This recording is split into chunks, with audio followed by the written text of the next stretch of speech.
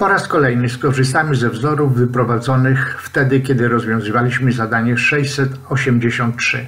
Wzory te masz z lewej strony ekranu. Pierwszy z nich przedstawia energię atomu wodoru, gdy elektron znajduje się na orbicie, dla której główna liczba kwantowa jest równa n.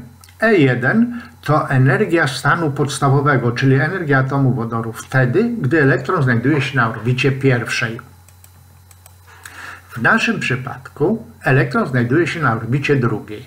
Energia, jaką wówczas posiada, jest równa E1 dzielone przez 4. E1 13,6 podzielmy przez 4, otrzymujemy minus 3,4 elektronowolta.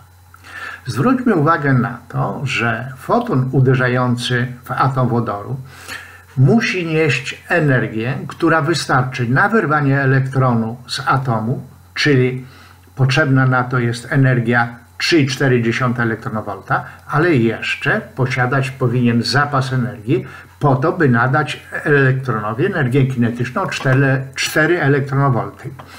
Bilans energii w tym przypadku wygląda następująco. Najpierw rozpisuję energię.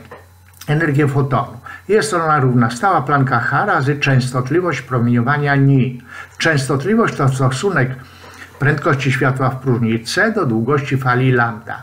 I ta energia jest sumą tej energii i energii kinetycznej.